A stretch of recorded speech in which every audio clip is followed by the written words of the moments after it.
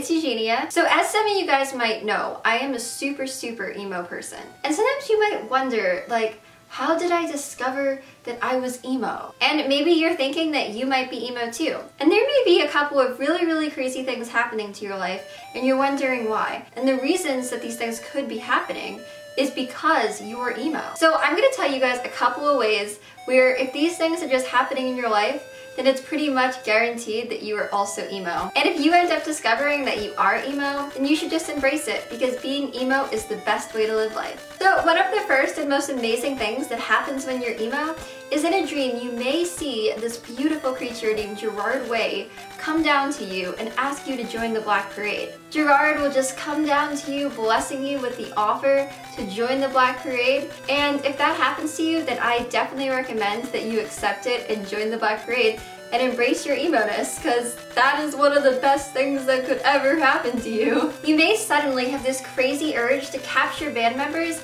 and store them in your closet. Like I actually made a video a while ago about the time that I captured Brendon Urie and kept him in my closet for a bunch of years and it was really crazy. It's totally normal, like if people tell you it's not, don't listen to them. Brendon and I had some amazing times in that closet, like totally. This was the closet right here that I kept Brendon in for all those years, and we had some pretty great times in here. I had a lot of friends for him, and the closet's making weird noises. Oh my gosh, it's like haunted. Yeah, Bubbles is a great Powerpuff Girl friend. She's like my favorite Powerpuff Girl. I want to knock the lamp over. Okay, well the closet is making weird noises. So I think the closet is like haunted or something like that. You'll also probably find that you're suddenly really attracted to Jack Skellington. Pretty much married. You'll probably discover that you really, really like the color black. And you may start liking the color black so much that you actually start seeing in black and white. It's just like a super cool emo power kind of thing. like right now, if you're seeing this video in black and white, congratulations you're probably emo. You'll probably start to want wearing a lot of black, like as you can see, have a pretty good amount of black on right now. You'll also probably have this big obsession with wearing a lot of eyeliner and want to start making your eyes black too and putting a lot of eyeliner on, kind of like how I do.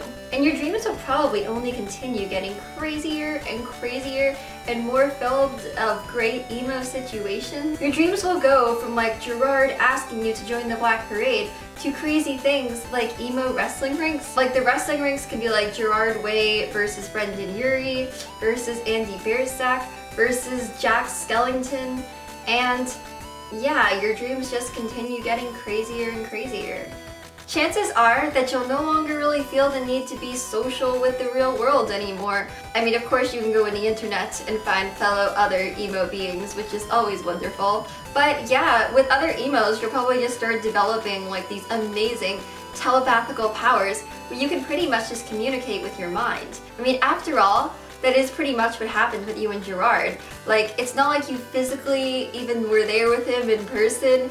He just came to you in a dream telepathically and pretty much asked you to join the Black Parade. That's just a great thing about being emo is like telepathic powers. Alright guys, well those are a couple of ways to know if you are emo and if you said yes to any of these things then hey, you're probably emo.